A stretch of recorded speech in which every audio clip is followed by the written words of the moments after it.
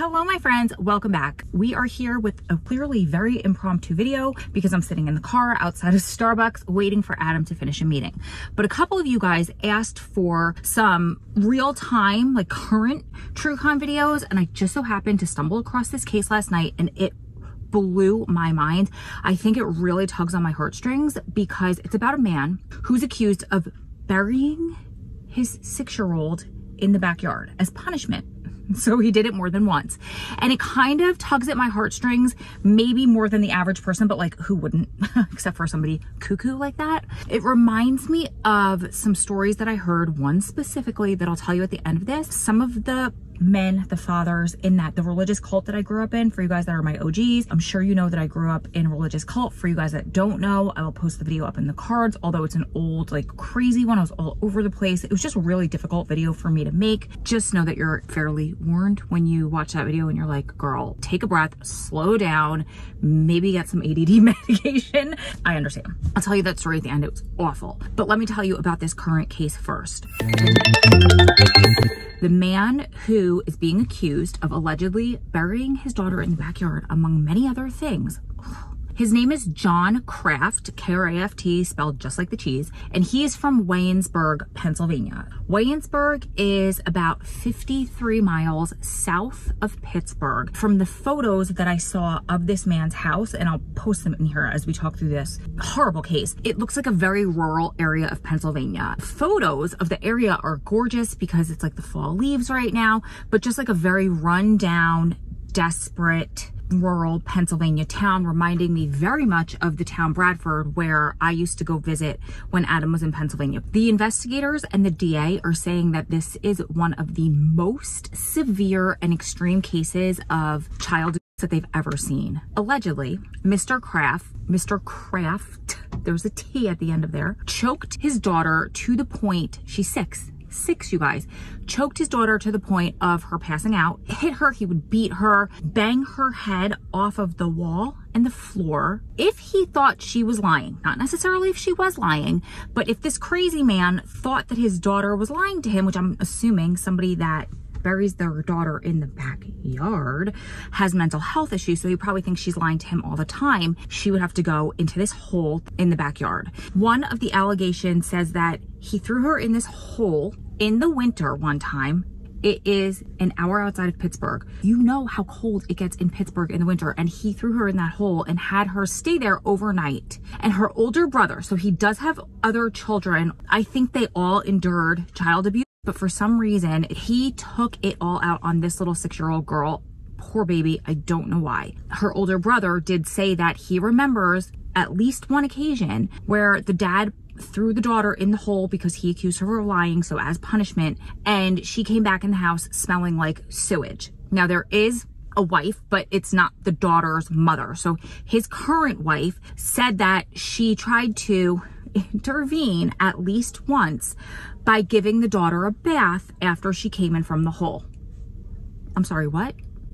That's your intervention? what? As of now, Mr. Kraft has been arrested and he's in jail, but this current wife who lived through all of this, who intervened by giving the girl a bath after she was stuck in a hole overnight in the middle of the winter, is still living in the house and there haven't been any charges pressed against her yet. The house that they are living in, they've been renting for at least the past three years. The owner of the house, so they're renting the house from this person, his wife came in and she made a comment. Guys, this was like, this part was weird to me. She said that she has called, they call it CYS, I guess, in Pennsylvania, which I guess is CPS. Even in New Jersey, it's DYFS. So I guess in different states, it's called different things, but Child Youth Services is what they've been calling it on the news broadcast that I've listened to. So I guess in Pennsylvania or this area of Pennsylvania, that's what they call it. She said she's called CYS, which Child Protective Services on multiple occasions. But then she said like when she goes to visit the house at least once a year. What? Like, I don't understand. She said that she remembers at least once from outside of the house hearing Mr. Kraft yelling at the kids, the kids crying, and then what it sounded to her like, allegedly, was the sound of him hitting the kids. She also saw cigarette burns on these children, but she called CPS at least once a year. Like, what? There was something about this interview, and I'll put in some of the footage, but there was something about this interview with this woman that I found disingenuous. I found, I felt like maybe it was self-preservation, maybe her 15 minutes of fame. I don't know. But at the very end of the interview, which I found funny, me paraphrasing, but she was like, people could have done more. These poor children, we did wrong by them. People, including myself, could have done more. But when I saw something, I called. It makes me feel disgusted and sad for the kids because I feel like a lot of pe- different people failed them. One specific incident was I saw cigarette burns on the kids. I could hear them inside, and I could hear John yelling at the kids and the kids crying, and what sounded like him hitting them. She says despite multiple reports to CYS, her calls went unanswered. I feel like a lot of people failed them, and that even maybe myself, I feel like I could have done more. But when I saw something, I said something, and it was out of my hands at that point.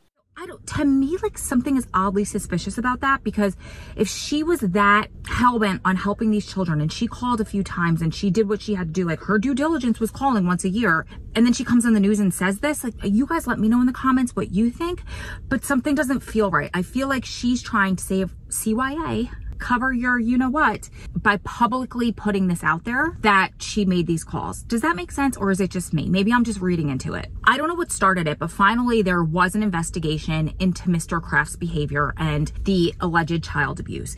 This started last month in September 2022. I don't know who made these claims, but it started because of severe bruises on this little baby girl's face and her body. So when the little girl, she's six years old again, so that's what, first grade? Maybe she's in school, maybe that's who saw it. So when this little baby was being interviewed, she said that her father did beat her with a belt with metal, you know, the, the metal buckle on there, and he did beat her with his arm, which you guys has a metal rod in there. Because, you know, if his just normal arm with bone in there wasn't bad enough. She also stated that he would use a shovel to dig a hole and then cover her with mud and dirt when he thought she was lying. So this is out, out of this little girl's mouth. And also the story is corroborated, co co corroborated, I swear. the story is corroborated by her older brother who said the exact same thing at a different time. When neighbors were interviewed by the police and investigators, they were shocked. They were like, he seemed fine. Nothing stood out to the neighbors about them, and the kids were really sweet. One neighbor specifically, James Fonner, said, I, I thought he was all right. I thought his kids were real sweet. You'd never think of that.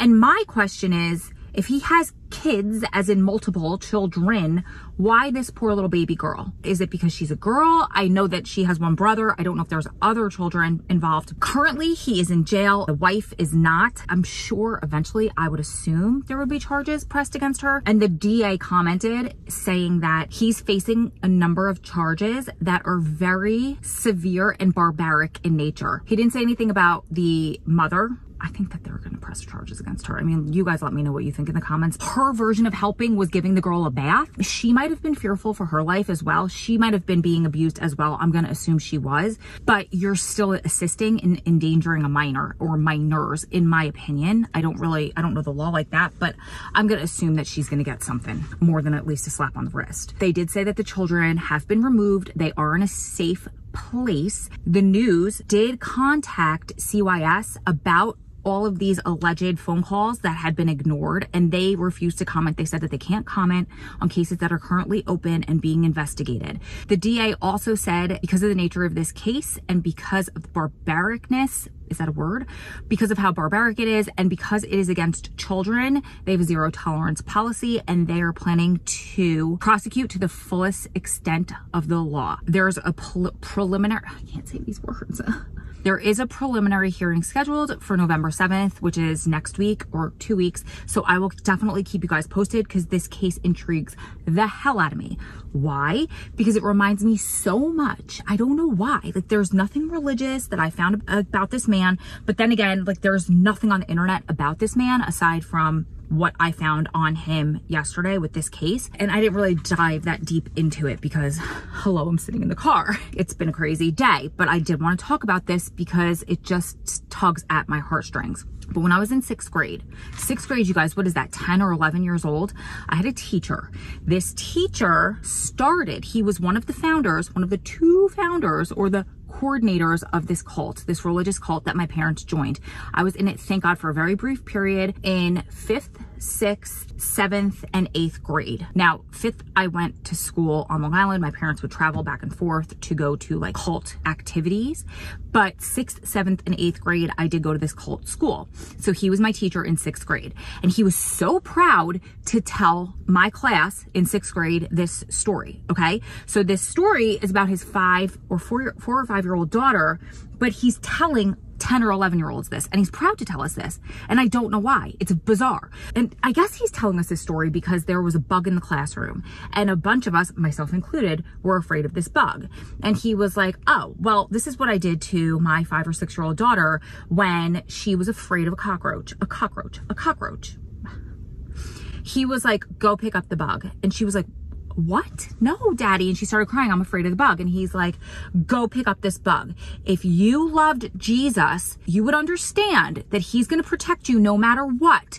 So he will protect you. Jesus is bigger than this bug. So he's going to protect you from the bug. Go pick it up.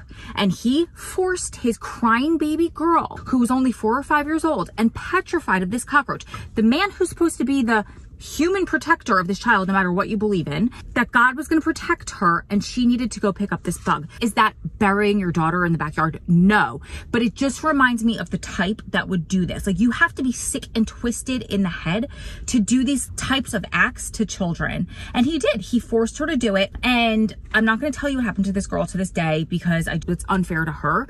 But I will tell you what happened to that man if you're curious. He died a very, very gruesome and do I want to say tragic death? I don't know.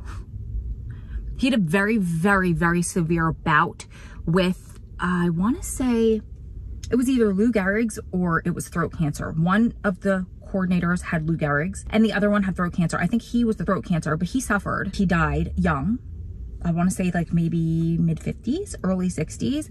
And there are the facts. And I won't say how I feel about it, but I'm sure you guys can guess. There's that. I will be back with an update on this video. I just wanted to give you a real time case because you guys asked for it. It's so sad, you guys. I don't understand. You have to be some sort of sick twisted individual to do this to children, to do anything of the sort to children. And when I first read this, I thought he buried her alive, like to death. I don't know. Like, thank God she's still alive and thank God they saved her at six years old. But the trauma that you've inflicted on a six year old girl, and this isn't the first time, this has been happening for at least three years that we're aware of because the landlord's wife says that they've been rented to, renting to them from three years. So I'm going to assume, or for three years. So I'm going to assume that this has been happening since at least three years old. The trauma that you've inflicted on this little girl, God. Let me know your thoughts in the comments below. I love you guys so much, and I will see you in the next one. Mwah.